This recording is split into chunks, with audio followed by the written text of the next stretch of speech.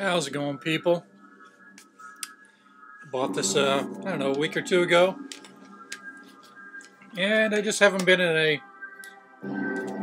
mood for hard stuff. But today definitely qualifies as a tough day. I think I can go for a little uh, single malt.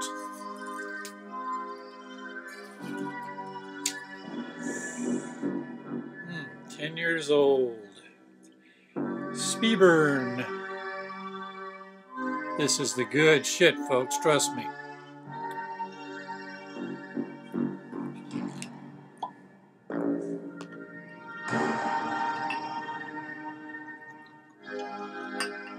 Mm-hmm. Got about four, four it came to passes here, I believe. We are in chapter 23. Well, let's give a look at this masthead here. Heading. Religious freedom is proclaimed. Oh, great. How about freedom from religion? No? Many Lamanites converted. Amalekites and Amulonites reject the truth. The anti Nephi Lehis. So, this is the first time we hear this crazy term, uh, uh, anti Nephi Lehi, and it's a name, apparently. It's a subdivision. uh, anti Nephi Lehi. Because they're pro Nephi Lehi. That's why they're anti. I don't understand this. So anyway, we'll just we'll just drive off that bridge when we get to it. Anyhow, verse one calls for one of these.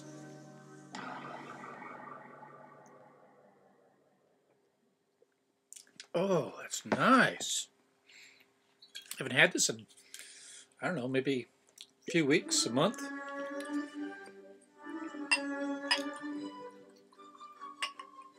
I don't really do much drinking off camera, almost none. I can go months without drinking, honestly. I had a butthurt Mormon call me a pothead 40 something alcoholic. And I went, You think I'm 40 something? Thanks. I'm 51, people. Some people think I'm 5150. Verse 1 Behold, now it came to pass. So we got behold and now together this time to I think they're becoming conscious that they're using the phrase a little too much. that uh yeah. That the king of the Lamanites set a proclamation among all his people that they should not lay their hands on Amulon unless they want to lose an arm. Or Aaron, or Omner, or Himni, nor either of their brethren. Uh, who should go forth preaching uh, the word of God in whatsoever place they should be, in any part of their land. Two. Yea, he sent a decree among them that they should not lay their hands on them to bring to bind them or to cast them into prison. Neither should they spit upon them or smite them, uh, nor cast them out of their synagogues, because they got synagogues in the New World too. And that's a, uh, during the period of uh, BC 90 to 77. And no, I don't mean before Columbus. before Christ. Although, you could fool me reading this book, man. They, they get it all worked out. There's not a surprise in the whole universe, including their demise. ah. Kind of makes me think of Slaughterhouse 5 with the Tralfamadorians. Oh no, we destroyed the universe uh, with a test engine. Yeah, we keep doing it because, you know, it's always been that way. Because that's the nature of time. I spilled my scotch. Going to sit over there. Hey, synagogues! Nor scourge them, neither should they cast stones at them. You know, this could be a lot shorter, don't you think? Just by saying, uh, you know, don't interfere with them and don't, you know, don't mess with these people. And give them every courtesy, even yours. yeah, and they do what they want. They go to your culture and they disrespect it. Because it's if it doesn't agree with what they're doing, then obviously it's it needs to be changed and who cares about what it was. Uh, but that they should have free access to their houses and also their temples and their sanctuaries. Three. And thus they might go forth and preach the word according to their desires. For the king has been converted unto the Lord and all his household. Therefore he sent his proclamation throughout the land unto his people, that the word of God might have no obstruction, but that they might go forth throughout all the land, that his people might be convinced concerning their wicked traditions and of their fathers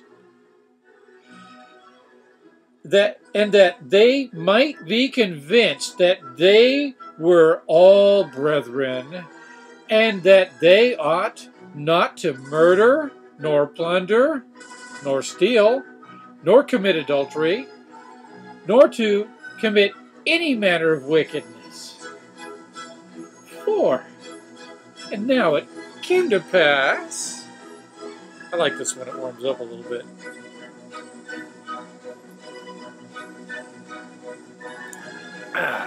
Clockwork Orange soundtrack. Yeah.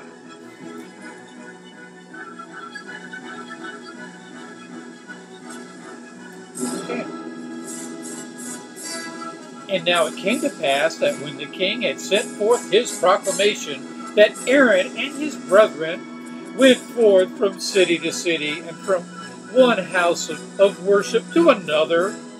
It was, uh, establishing churches, churches next to the synagogues, uh, and consecrating priests and teachers throughout the land among the Lamanites of God. Yeah, they got Lamanites, but no Levites. to preach and to teach the word of God among them, and thus they began to have great success. Five. And thousands were brought to the knowledge of God. Yea, thousands were brought to believe in the traditions of the Nephites. Sounds like the Borg, you know. Join us. Resistance is futile. We do not respect your ways. We will assimilate we can isn't it nice to be owned and useful?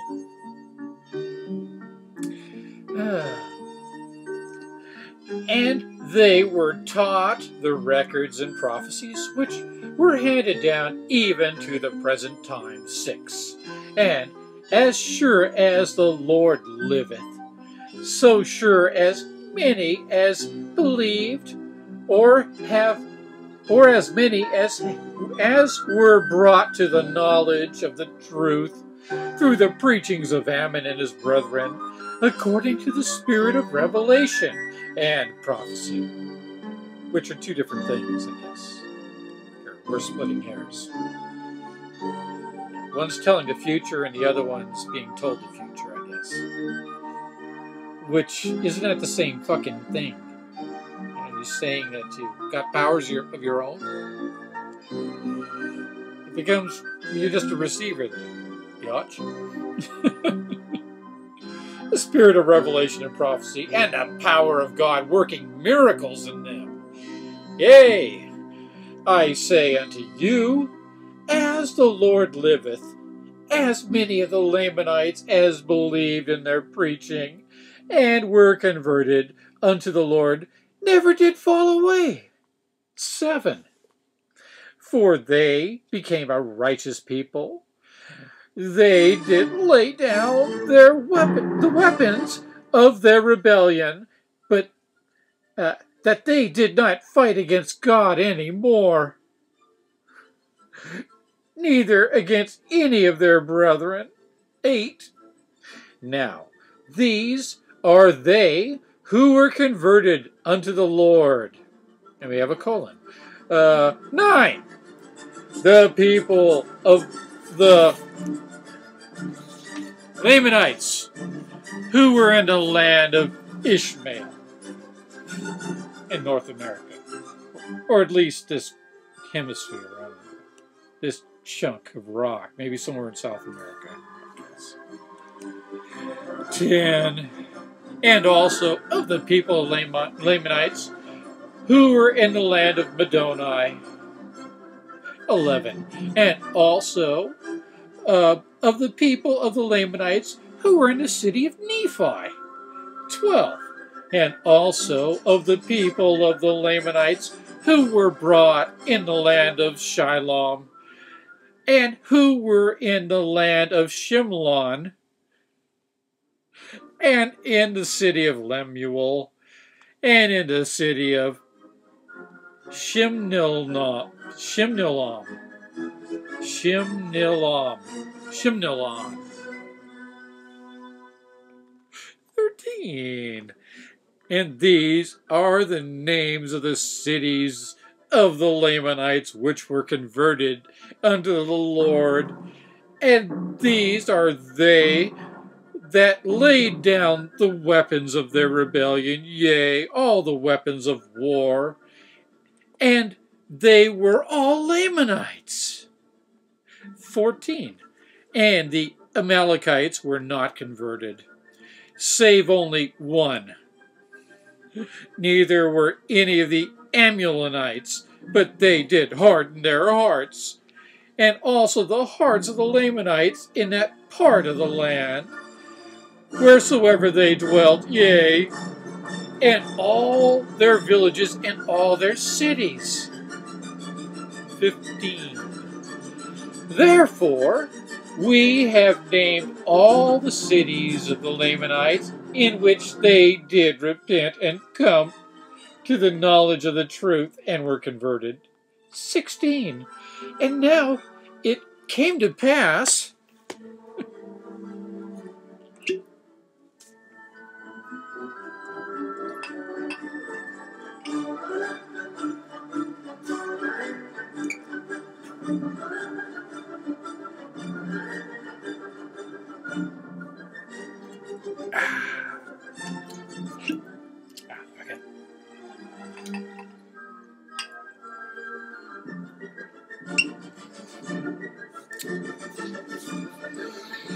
that the king and those who were converted were desirous that they might have a name.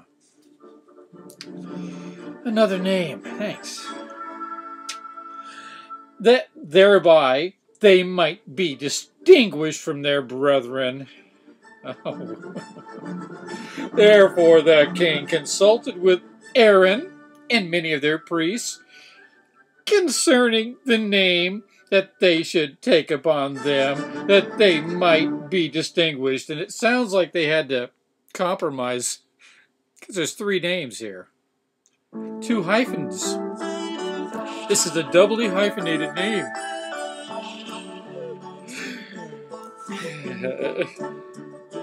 Seventeen.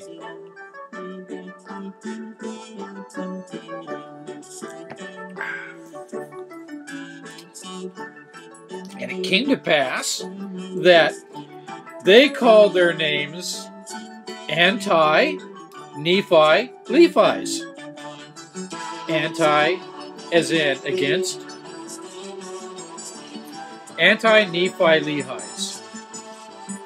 And they were called by this name and were no more called Lamanites.